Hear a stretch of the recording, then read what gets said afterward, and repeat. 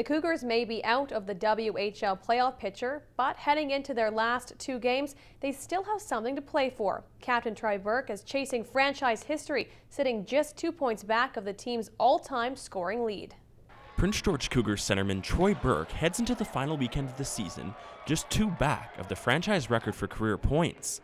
The 19-year-old knows he's fortunate to even be close.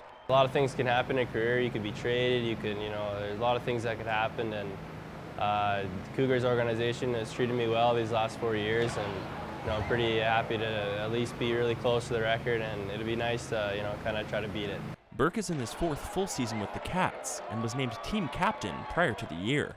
Being the head guy, you definitely you take on a lot more responsibility, and you you know you got to lead the boys in, in more ways than one, and uh, it's been, it's been fun for me. It's been a, it's definitely been a new experience and kind of a growing experience for me. Coach Mark Holick saw qualities in Bourke that would be effective in a leadership role. Just a guy that uh, I felt could lead our, our young guys especially. You know, seeing the, the kind of work that he puts in, um, it certainly helped and, and rubbed off on some of those guys. He has 231 points in a Cougars uniform, many of which have come by way of hard work.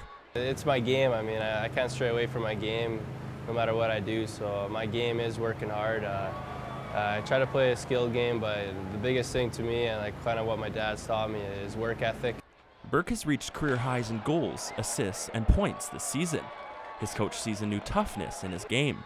He's doing a better job of getting to the net. I think that, uh, you know, last year when I first took over here, he was a bit more of a perimeter type player, but he does a better job of, of finding uh, ways to get in and get out and, uh, you know, handle some of the bigger players. The native of Onoway, Alberta was a third round pick of the Colorado Avalanche last spring.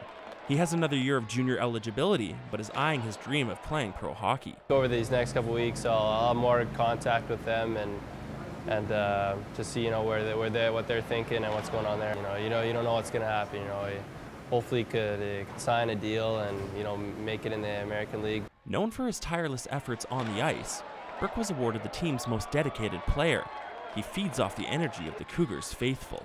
It's nice to be, you know, recognized by, by the fans if when you're working hard and getting stuff done. So uh, it's nice of them and trying to win for them too.